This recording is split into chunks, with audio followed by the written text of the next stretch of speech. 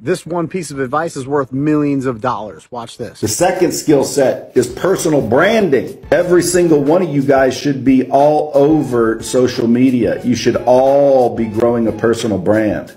A personal brand is massively valuable. One time somebody uh, out on my balcony was asking me why I always spent all this time making videos. And I said, what do you mean? He said, well, why would you, like, you got shit to do and tons of money. Why would you be worried about putting videos out? And I said, well, Number one, it helps people. Number two, it builds a personal brand. He says, Well, how does that work? So I opened the phone. I said, Listen, I got a new program. It's called Run Shit by Brad. You get my cell phone. Anytime you have questions, you can run shit by me. Swipe up for $10,000. And then, like, within four hours, I had six people already wired me $10,000 for my cell phone just to run shit by me. So 60 grand, he said to me, he said, dude, he said, you just made 60 grand in like freaking, what was that video? Like 10 seconds? And I said, no, dude, that was 10 seconds.